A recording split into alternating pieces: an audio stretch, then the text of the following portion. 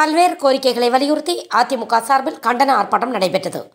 மின்கட்டண உயர்வு பால் விலை உயர்வு சொத்து வரி உயர்வு உள்ளிட்ட திமுக அரசின் மக்கள் விரோத செயலை கண்டித்து நெல்லை மேலப்பாளையம் பகுதி சந்தை ரவுண்டானா அருகில் நடந்த ஆர்ப்பாட்டத்திற்கு மாநில கொள்கை பரப்பு துணை செயலாளர் பாப்புலர் முத்தையா தலைமை வகித்தார்.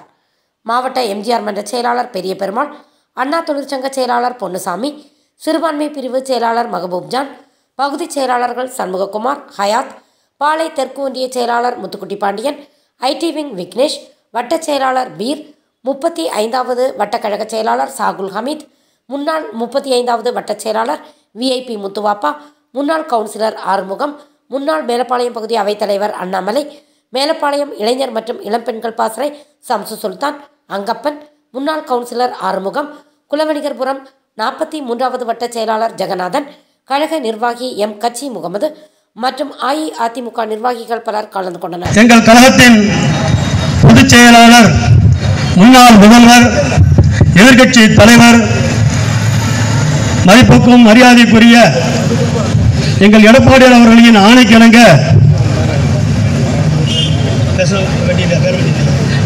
எடப்பாடியார் அவர்களின் ஆணைக்கிணங்க இந்த கண்டன மாபெரும் ஆர்ப்பாட்டம் இங்கே நடைபெற இருக்கின்ற அண்ணா திராவிட முன்னேற்ற கழகம். அந்த அண்ணா திராவிட முன்னேற்ற கழகத்தினுடைய தயவில்லாமல் தேசிய கட்சி ஒன்று ஆர்ப்பாட்டம் இது ஆர்ப்பாட்டம். மக்கள் நலனை முன்னிறுத்தி ஆர்ப்பாட்டம். போராட்டம் இது போராட்டம். மக்களுக்கு விடியல் கிடைக்க போராட்டம். உயர்த்தாதே உயர்த்தாதே. மின் கட்டணத்தை உயர்த்தாதே.